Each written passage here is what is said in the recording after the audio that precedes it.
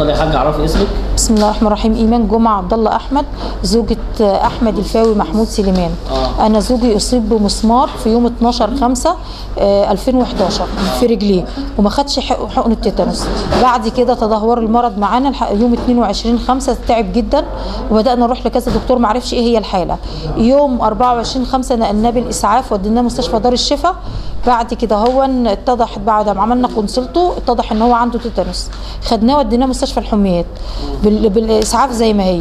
بعد كده دخلنا أوضة بعد فبعد كده لقينا المفروض إن في مصل مضاد للتيتانوس كان لازم ياخده. فضلنا نلف عليه كتير ما لقيناهوش.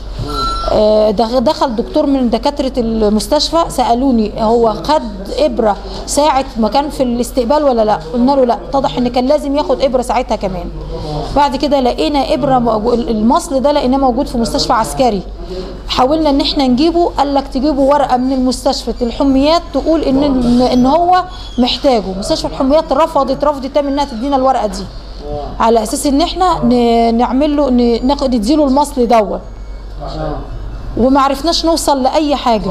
و- وبعد كده هو عرفنا إن كان لازم يدخل الرعاية المركزة. عملنا يعني حاجات كتيرة جدا جدا لحد ما دخل الرعاية المركزة قبل ما يموت بكام يوم. هو دخل الرعاية المك... دخلنا المستشفى 24 دخل الم- الرعاية المركزة يوم 26 يوم 5 الصبح كان توفاه الله.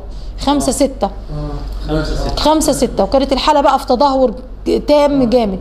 ولما دخلنا على النت لقينا من أهم العلاج التيتانوس اللي هي المصل اللي هو بتاع التيتانوس ده. اللي إحنا ما اللي المستشفى قالت بقالنا من أربع لخمس شهور مش لاقيينه. طب ومات أكتر من كذا حالة تيتانوس معانا في, في, نفس الوقت.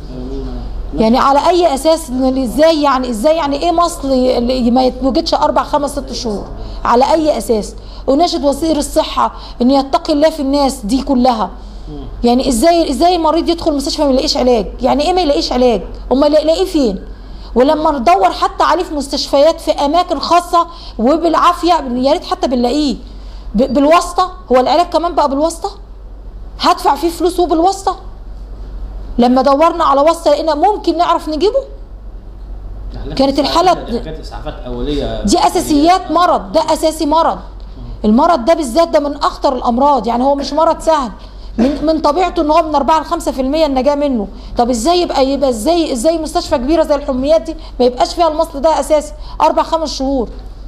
يعني أنت بتقدمي هذا ال- الإنذار أو هذا البلاغ ال- عبر النت ع- لل- لوزير الصحة بعدم أو بالاهتمام بالمواطن المصري بعدم تكرار هذه ال- ال- المأساة دي تاني. المأساة. المأساة تاني لأنها مش حصلت لزوجي بس. أنا حصلت معاه في نفس الوقت ده مع واحد تاني كان داخل في إيده بردك خشبة اسمه مشاري.